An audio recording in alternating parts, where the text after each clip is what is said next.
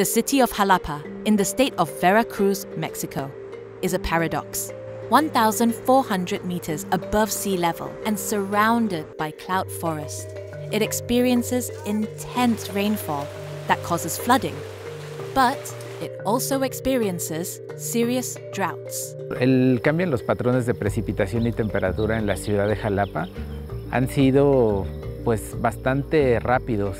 Alrededor de unos 10 años se han experimentado estas variaciones y eh, más episodios de calor. Cada vez, cada año estamos rompiendo el récord de temperatura media eh, anual y las lluvias se han concentrado.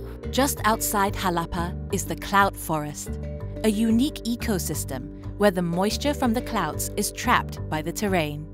The cloud forest ecosystem provides about 37% of the city's water and also helps retain water that prevents landslides and floods.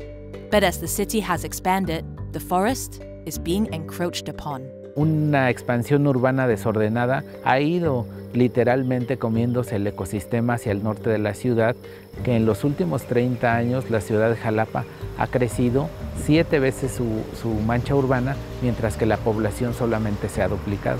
Hay muchas viviendas, hay unidades habitacionales, grandes desarrollos urbanos que han ido eh, sistemáticamente in, impermeabilizando el suelo. A medida que vamos pavimentando calles se va perdiendo la capacidad de, de meter agua al suelo. When forest and earth are covered in concrete and tarmac, rainwater that would have been absorbed into the ground runs across the surface and can quickly create flash floods. The droughts are the other side of the same coin. The forests that captured water and the soil that absorbed it are smaller and smaller sources for people to use. What's happening in Xalapa is not an isolated occurrence. Between 2000 and 2022, over 90% of Mexico's disaster and emergency warnings have been due to water related weather events. 78% of damage caused by natural disasters has also been water related.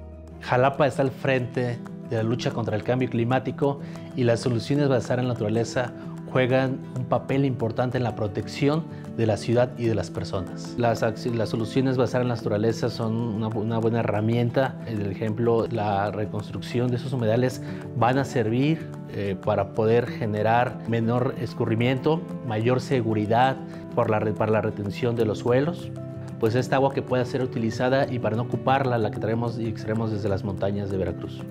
CityAdapt, a United Nations Environment Programme project, is using nature based solutions to reduce the burden on Xalapa's water supply and reduce shortages. It's also helping to lessen the impacts of extreme weather events related to climate change. The project has been protecting and restoring ecosystems around the city, restoring urban plant cover, including grasses, shrubs, and trees, slows down surface water flow which reduces flooding while helping to recharge groundwater supplies. The project has also installed 12 rainwater harvesting systems on buildings in Xalapa, benefiting over 20,000 residents. Estamos viviendo actualmente una crisis hídrica. Las fuentes hídricas que, de las que se abastece el sistema de agua municipal eh, están eh, sufriendo, tienen un estrés hídrico y están perdiendo su capacidad hídrica. Sin embargo, tenemos agua de lluvia. Entonces, aprovechar este recurso, este fenómeno, resulta vital. Mexico is increasingly vulnerable to climate change related weather extremes, such as flooding, drought, and landslides.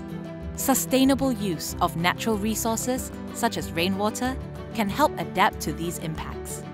Nature based solutions are key to adapt to our changing climate but also to help reduce our carbon footprint. Every fraction of a degree matters.